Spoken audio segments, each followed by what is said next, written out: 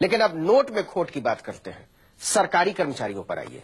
सरकारी नौकरी पा जाने के बाद इतना बड़ा सुकून आ जाता है कि कुछ लोग मदहोशी में चले जाते हैं।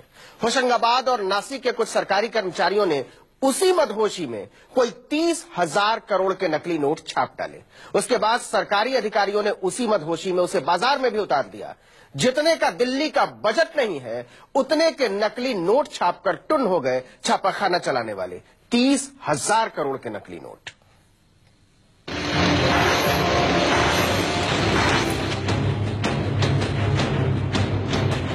मतलब ने पाकिस्तान से आए, न बांग्लादेश के रास्ते को पार किया, न नेपाल के रास्ते से चलकर यहाँ तक पहुँचे। हमारे अपने सरकारी छापाखानों के असली मशीनों ने छाप दिए, कर्रे कर्रे हज़ार हज़ार के नकली नोट। होशियार हो जाइए। क्या पता आपकी जेब में असली मशीन से निकला वही नकली नोट आपके बटवे में। जल्दी से पहले पॉकेट की पड़ताल कीजिए। कोई एक आध नोट की बात नहीं है। पूरे तीस हज़ार करोड़ के नकली नोट छाप दिए सरकारी छापे खाने ने। रिज़र्व बैंक ऑफ़ इंडिया तक को खबर नहीं थी और जब तक खबर मिलती, कोई दस हज़ार करोड़ के नकली नोट बाज़ार में उड़ने लगे थे। जो काम पाकिस्तान से लेकर बांग्लादेश के आतंकवादी कानून की नज़रों से बचते हुए न जाने कितनी जहमत उठाकर अंजाम दे रहे थे, उसे हमारे ही सरकारी कर्मचारियों ने फुल प्रूफ सुरक्षा में अंजाम दिया। असली मशीन से वे खटके निकालते रहे, नकली नोट, लाल लाल, लंबे लंबे, करारे करारे। क्योंकि थ्रेड जो डाली जाती है, वहाँ एक जिम्मेदार कर्मचारी होता है जो थ्रेड डालता है। उसको देखने के लिए सुपरवाइजर होता है, टेक्निकल ऑफिसर होते हैं तो उन्होंने भी नहीं देखा। बहुत बड़ी लापरवाही। अधिकारियों के, संबंधित अधिकारियों की है। और मैं तो ये समझता हूँ कि ऐसे लोगों पे तो कड़ी मतलब इनकी सजा होना चाहिए। अब हुआ क्या था ये भी सुनिए। हज़ार हज़ार के नए नोट छपने थे।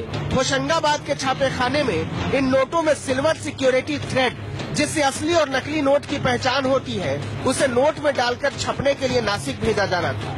लेकिन होशंगाबाद के कारखाने ने बिना थ्रेड लगाए कागज़ नासिक भेज दिया और नासिक वालों ने उसे मशीन में झोंक दिया। छपने लगे हज़ार हज़ार के नोट। और इस तरह से बिना सिल्वर सिक्योरिटी थ्रेड वाले तीस हज़ार करोड़ के नोट छाप दिए गए। पूरी कथा सुनिए। एक हज़ार के फाइव एजी और थ्री एपी सीरीज़ के नोटों में गड़बड़ी हुई है।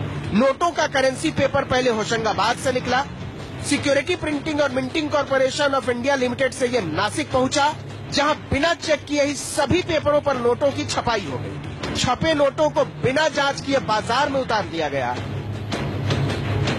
किसी को पता नहीं था, लेकिन जब ऐसे नोटों को छापने वाले होशंगाबाद और नासिक में कुछ कर्मचारियों को निलंबित किया गया, तब इस भयंकर भूल के बारे में पता चला। तब तक बाज़ार में दस हज़ार करोड़ के नोट जा चुके थे। कोई छह हज़ार करोड़ रुपए के नोट तो वापस ले लिए गए और उन्हें जला दिया गया। लेकिन चार हज़ार करोड़ रुपए के नोट अभी भी आप अपने बटुए में लिए घूम रहे हैं। अगर आपके पास भी एक हज़ार रूपए के फाइव एजी या थ्री एपी सीरीज़ के नोट हैं तो इन्हें ज़रूर जाँच लें चेक करने के लिए आप अपने नोट को तेज लाइट के सामने रखें और देखें कि नोट की फ्रंट साइड में सिल्वर सिक्योरिटी थ्रेड नज़र आ रहा है या नहीं। अगर आपको नोटों पर ये चांदी के तार नज़र नहीं आए तो मान लीजिए आपके पास सरकारी मशीन में छपा नकली नोट है। ऐसे नोटों को बैंक से बदला जा सकता है। रिज़र्व बैंक पलट पावड़े बिछाए बैठा है। लेकिन अब पछताए होत क्या जब नोट उड़ गए खेत? होशंगाबाद से आशीष मालवीय के साथ Govind Singh, Bhopal, news twenty four. मतलब सोच हो या नोट, चोट हमेशा जनता को लगेगी।